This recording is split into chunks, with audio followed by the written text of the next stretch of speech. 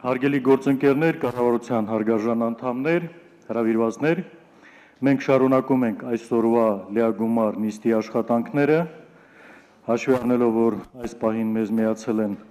գործադիր իշխանության ներկայացուցիչները, ուզում եմ այդ տեղեկատվությունը նորից վերանորոգել, որ այսօր մենք 2014 թվականի սեպտեմբերի 18-ին հրավիրել ենք 5-րդ գումարման լղազգային ժողովի հերթական 10-րդ նստաշրջանի աշխատանքները եւ այսօրվա լեագումար նիստով մենք մինչեւ դեկտեմբերի վերջ գտնվելու ենք 10-րդ նստաշրջանի աշխատանքների շրջանակներում, ինչպես կանոնակարգը պահանջում է ազգային ժողովի կանոնակարգ օրենքը, մենք այս նստաշրջանի ընթացքում երկու անգամ կառավարության հետ հարց ու պատասխան ունենք պարտադիր կերպով սեպտեմբեր եւ նոյեմբեր ամիսներին, իսկ մյուս ամիսներին մենք կարող ենք նաեւ հարցեր լինելու параգայում հravirել կառավարության ներկայացուցիչներին, որ เป զի անհրաժեշտ պատասխաններ ու բարձաբանումներ տան օրենսդիր մարմնի ներկայացուցիչներին։ Այսօր կառավարության անդամները ներկայ են ՊՂ փոխվարչապետ Արտուր Աղաբեկյանի հետ միասին, եւ ես հիմա ուզում եմ բացել հարց ու պատասխանի մեր օրակարգային հարցը, խնդրելով падգամավորներին գրանցվել։ Խնդրեմ, գրանցում հարցերի համար գրանցվել են այս պահին падգամավորներ Կամո Բարսեղյանը, Վարդգես Լուբաբյանը եւ Անդրանիկ Սարգսյանը։ Այժմ ես ամբիոնի մոտ եմ հravirում Կամո Բարսեղյանին, թող պատրաստվի Վարդգես Լուբաբյանը։ Հարգելի ներկաներ, հարգելի կառավարության անդամներ։ Ես ստիպած եմ մի հարց, որ այս 4-4.5 տարիների ընթացքում ահագին բարձրացրել եմ եւս մի անգամ բարձրացնեմ դա գազալցակայաններում գազի գնի բարձր լինելու հարցն է։ Ուրեմն կառավարությունը մեր հարցապնդումների արդյունքով ստեղծել է միջ գերատեսչական հանձնաժողով եւ միջ գերատեսչական հանձնաժողովը ուսումնասիրություններ է կատարել այդ ոլորտում ու բարձել է հետևյալը։ Գազալցակայանների ամենափոքր կամ ամենափոքր շահութաբերությունը 32% է։ Ամենամեծ շահութաբերությունը 62% է Այսինքն դա նշանակում է, որ այդ ոլորտի բոլոր սուբյեկտները ստանում են գերշահույթներ։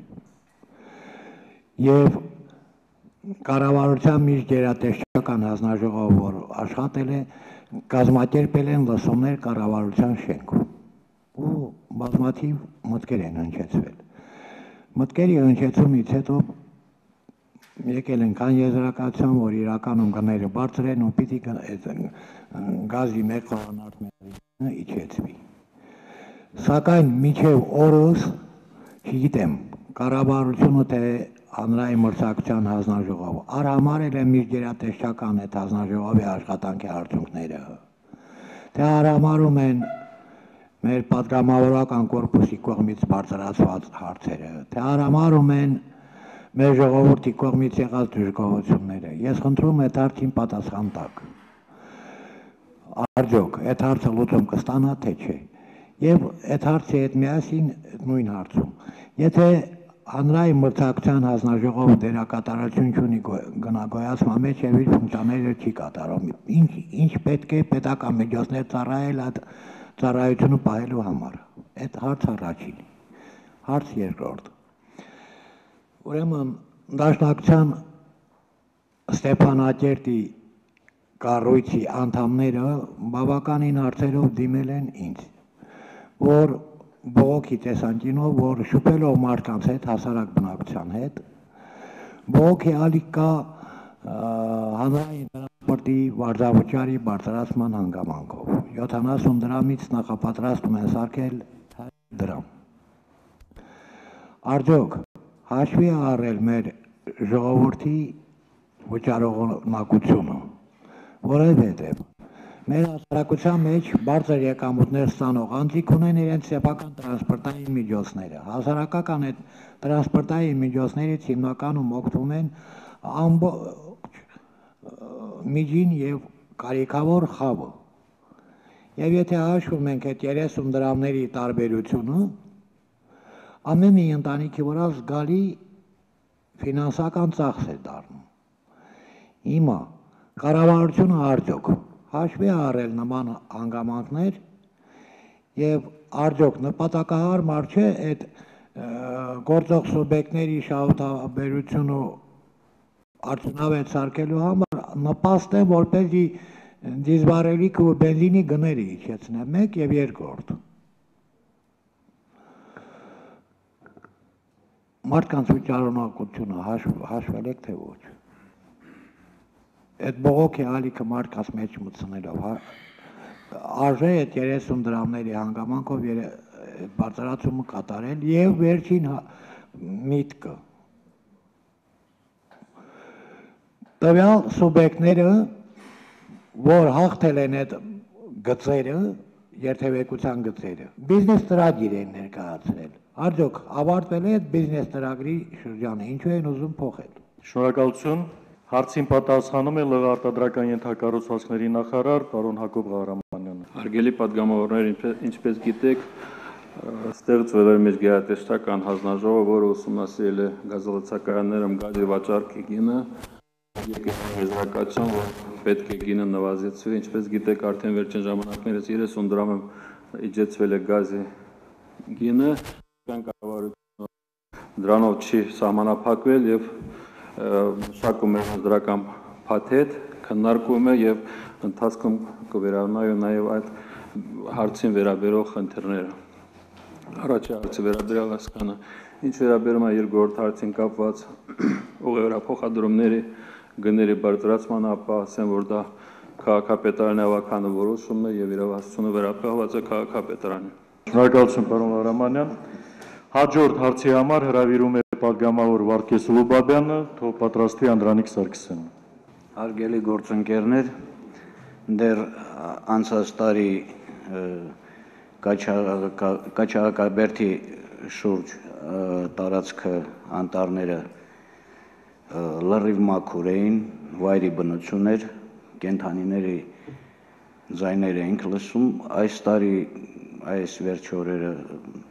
մենք մի խումբ զբոսաշրջիկների հետ գնացել էինք վայելելու այդ ամենը եւ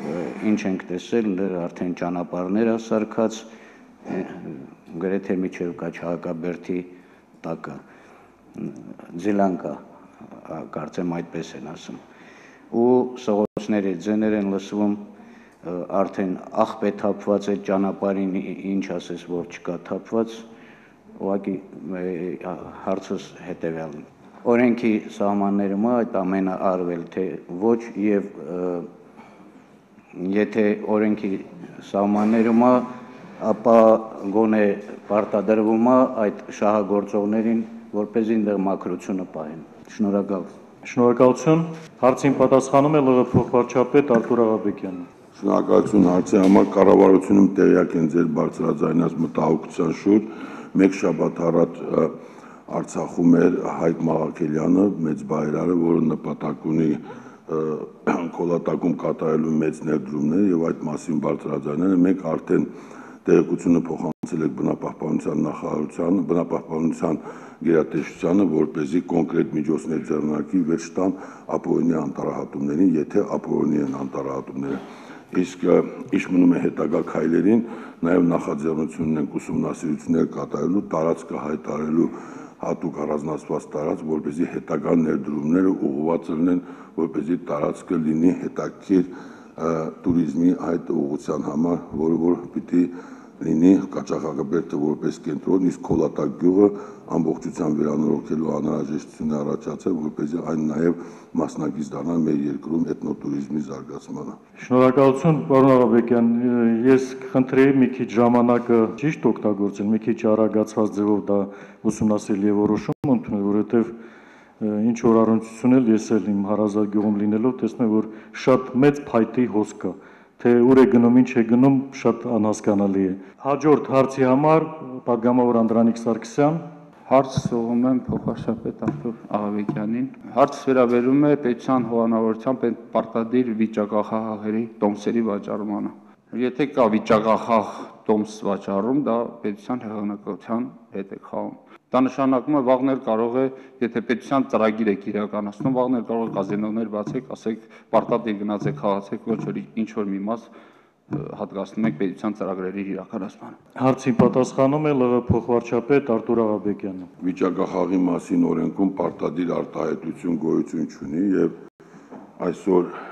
Արցախում ստեղծված վիճակախաղով Լեռնային Ղարաբաղի Հանրապետության կառավարության կողմից հիմնադրված Փակbaşնետիրական ընկերությունը, որը զբաղվելու է պետական վիճակախաղի վիճակախաղով, ապա այնտեղ պարտադիրի էլեմենտը չի կիրառվում։ Երևի նկատի ունեք նախորդ տարիներին նախաձեռնությունը երբ սկսել էինք, նկատելի էր նման բան, իմ կողմից էր նկատելի, ես անձամբ էի զբաղվում վիճակախաղի տոմսերի իրացմամբ, նպատակ ունենալով այն ծրագիրը, որը ունի մոտակա 10-20 տարիների խնդիր, որպեսզի այն ճիշտ կյանքի կոչվի։ 2014 թվականի մայիսի 9-ին 2014 թվականի համար թողարկված վիճակախաղի տոմսերը 300 հատ տոմսը գտնվում է շրջանառության մեջ եւ երևի 2014 թվականի ընթացքում եւ ոչ մեկը չեք նկատել, որ որևիցե գերատեսչություն մասնակցում է վիճակախաղի տոմսերի իրացմանը։ Պետք է նաեւ բարձրաձայնեմ, որ ցավոք սրտի, որ ոչ մի գերատեսչություն չի մասնակցում։ Չի մասնակցում, որովհետեւ նկատելի էր այն տրամադրությունները, որը իմ մարտական ընկերն այսօր այստեղից բարձրաձայնել։ Ինչի է նախաձեռնվել պետական վիճակախաղը։ Եթե մի քիչ ուսումնասիրեք աշխարհի փորձը, դուք կտեսնեք Հայաստանի Հանրապետությունը խիստ տարբերվում է աշխարհի շատ երկրներից եւ վիճակախաղը շատ երկրներում, միգուցե բոլոր երկրներում բացառությամբ Հայաստանի Հանրապետությունից եւ հետխորհրդային մի քանի երկրներից վիճակախաղը դա պետության հիմնական գործառույթ է եւ այն չի տրվում որևիցե մեկ առանձին անձի անձի տնօրինության։ Այո, Արցախի կառավարությունը նպատակ ունի երկարաժամկետ վիճակախաղի թողարկմամբ հնարավորություն ընձեռնի բոլոր հայազգի մեր ընկերներին, մեր հարազատներին, Արցախի տնտեսության մտահոգ առանձին քաղաքացիներին վիճակախաղի 1 տոմս ձեռքբերման մասնակից լինի Լեռնային Ղարաբաղի կայացմանը։ Ինչ ծրագրեր է կյանքի կոչվելու այդ վիճակախաղով։ Առաջինը. Վիճակախաղի կառավարության որոշման, որով ստեղծվել է Փակ բաժնետիրական ընկերությունը նպատակ ունի։ Առաջինը. Նպաստել Արցախում արտադրվող մշակութային արժեք ներկայացնող իրերի իրացմանը։ Այսօր ցավոք սրտի միայն Արցախում արտադրվում են ձեռագործ գորգեր։ Մենք ավելի առաջ ենք գնացել։ 2014 թվականին նպատակ ունենք վիճակախաղի շահումային ֆոնդի մեջ ներառնենք նաև տակարով տակարով լցված թթի օղիները։ Ավելին, այսօր ես խոսում եմ գործարար մի շատ հայտնի գործարար հայազգի գործարար Պարսկաստանում արծաթի իրերի արտադրությամբ զբաղվող ընկերոջ հետ, որ նա գա Արցախ, հիմնի արծաթի իրերի արտադրություն եւ խոստացել են, որ ձեր արտադրանքի մի մասը կներառվի շահումային ֆոնդի մեջ։ Մենք շարունակելու ենք բարձրաձայնել եւ ճանապարհներ ենք փնտրելու, ցանկացած ճանապարհ, որ เป զի օրինական ճանապարհով մեր ժողովուրդը մասնակից լինի Արցախի տնտեսության զարգացմանը։ Իսկ շահումից առաջացած տոմսերի իրացումից առաջացած շահույթը բացառապես ուղղվելու է վերաբնակեցման ծրագրին։ Ծրագիր, որի համար երևի բոլորդ գիտեք, որ ամեն սփյուռքահայ պատրաստ է իր մասնակցությունը բերելու։ Եվ ուզում եմ նաև մի դառը ճշմարտություն բարձրաձայնեմ, հենց իշխող տրամադրություններն են հաշվի առել, որ այսօր Արցախի տարածքում վիճակախաղի տոմս չի իրացվում։ Բայց ակնկալում ենք, որ հետագա տարիներին Արցախի բնակչությունը նույնպես մասնակցություն է ունենալու այդ տոմսերի իրացմանը, որ เป զի ել ավելի խրախուսելի դարձնի վիճակախաղը, ել ավելի հնարավորություն ձեռնենք, որ մենք կարողանանք այն նիշը, որ հայտարարել ենք, դա 3 միլիոն հատ վիճակախաղի տոմսի թողարկումն է եւ ամբողջությամբ իրացումը։ Շնորհակալություն։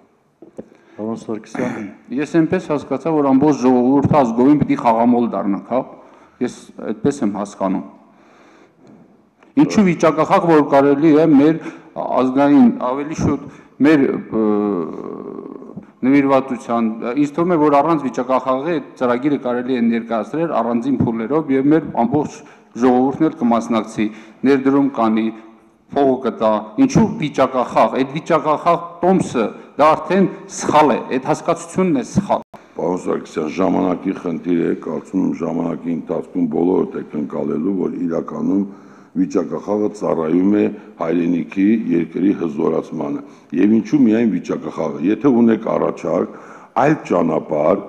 այլ մեթոդներ, օրինական ճանա- ճանապարհով մեր ժողովրդին հայ, հայ ժողովրդին ընդհանրապես մասնակից դարձնեք Լեռնային Ղարաբաղի Հանրապետության հզորացմանը քննարկելի առարկա է հաճույքով կարող եմ ժամեր տրամադրել ձեզ լսեմ եւ կյանքի կոչեմ բարձրաձայնելով հեղինակային իրավունքը որպես ձեր հեղինակային իրավունքը Շնորհակալություն։ Կարող եք նստել։ Հարգելի գործընկերներ, մենք այսքանով ավարտում ենք կառավարության այդ հարց ու պատասխանը։ Ուզում եմ արձանագրության համար հայտարարել, որ հարցեր հնչեցնելու համար գրանցվել են ազգային ժողովի 3 падգամավորներ, բոլոր 3 падգամավորներն էլ տվել են իրենց հարցերը, ընդհանուր առմամբ հնչել է 4 հարց եւ բոլոր հարցերին էլ տրվել են անհրաժեշտ բարձաբանումներ։ Այսքանով մենք հավարտում ենք կառավարության այդ հարց ու պատասխանի բաժինը։ Ուզում եմ շնորհակալություն հայտնել մեր գործընկերներին, գործադիր իշխանությունից։ Երևի արդեն հանդիպելու ենք հարց ու պատասխանի նոյեմբեր ամսին, եթե այլ անհրաժեշտություն չծագի հոկտեմբերի նիստի ժամանակ։